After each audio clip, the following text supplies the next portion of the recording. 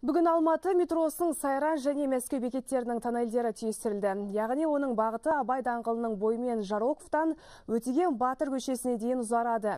Жыл соңына дейін бұл екі станса пайдалануға беріледі. Қазір мұнда негізгі жұмыстар аяқталып, әрлеу шаралары жүріп жатыр.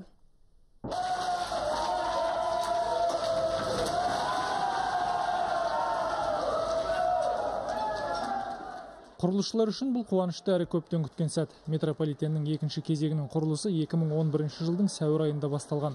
Алатау бекетінен мәскеу бекетіне дейінгі аралық 2700 метрге жуық. 18-20 метр тереңдікте орналасқан екі бекетте де негізгі темір бетон құрылымдарын құю жұмыстары аяқталып қазір іс әрленіп инженерлік коммуникациялар тартылуда. Әрине жұмыстар өте күрделі. Мәселелер көп бірақ олардың бәрі шешімі табылып отыр. Өкімет тарапынан елбасының қолдауыменен қаржы жеткілікті. Мәселе соны ұқыпты пайдаланып станцияларды биылғы жылы бітіру.